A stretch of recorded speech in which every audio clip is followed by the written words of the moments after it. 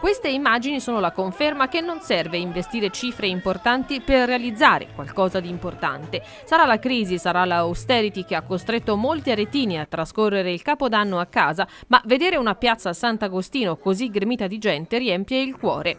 È il capodanno aretino forse meglio riuscito degli ultimi anni, quello organizzato in piazza Sant'Agostino da comune e associazioni di categoria.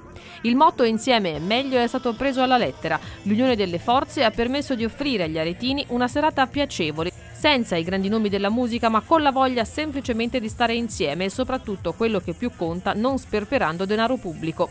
Il countdown davanti alla fontana e poi il lancio delle lanterne dei desideri per accogliere l'anno nuovo che mai come quest'anno ha le chance per essere migliore di quello vecchio. Partecipate anche alle altre feste organizzate in città, ma ovviamente con altri numeri. 400 i commensali alla cena targata Lodovichi a tema New York al centro affari di Arezzo, in mille coloro che hanno poi soltanto assistito allo spettacolo e per il prossimo anno c'è già l'annuncio del tema che sarà Dubai.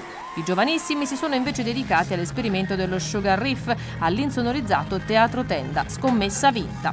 E poi i tanti locali e ristoranti in particolar modo che offrivano cena e musica ed in alcuni casi i commensali si sono persino cimentati in un karaoke di fine anno.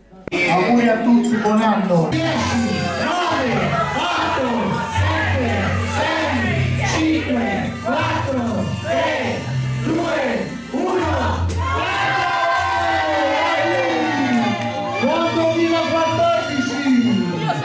hierba, no.